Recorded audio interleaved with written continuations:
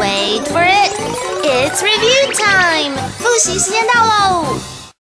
Welcome back to review time. We did our scal- spelling game in day one, so we're going to switch it up a little bit today. Okay. Let's see if Elsie knows the definitions of our word power words. Whoa. We So talked you- about four of them. Do Yeah. you remember? humbly，谦虚地，nobody，没有人，agree，同意，valuable，珍贵的。 Okay, so I'm going to give you the English definition Okay. because you know them in both English and Chinese, and hopefully you listened carefully and you can guess what the word is by the English definition. Okay. I'm going to start with an easy one. Okay, are you ready? Mm-hmm. No people.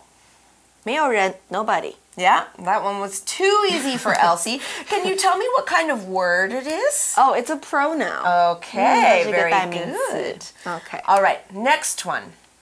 Uh, yes. I will do something. What did 好， I 你要 just 做 do? 某事，你要做什么？ 哦，你同意，you agree。 Very good. Now, can you tell me what kind of word agree is? It's a verb，是个 Excellent. 动词。 Okay, now we're going to get a little bit harder. Okay. All right. Something that is very important to you is what? 重要的东西啊，怎么样去形容它呢？valuable，贵重的、珍贵的。 And what kind of word is it? 形容词 adjective。 Okay, now there's one left.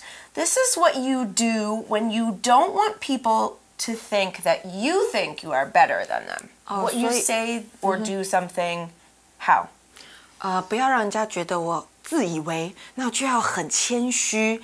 然后我们的 word power word 里面是副词 humbly hmm And what kind of word is humbly? adverb And we know that because it has ly。 exactly. All 但 right. 是不是所有 ly 结尾的字都是副词哦。 Okay, well, that finishes up our lesson today for day two of our article. We'll be back tomorrow to see how our story ends.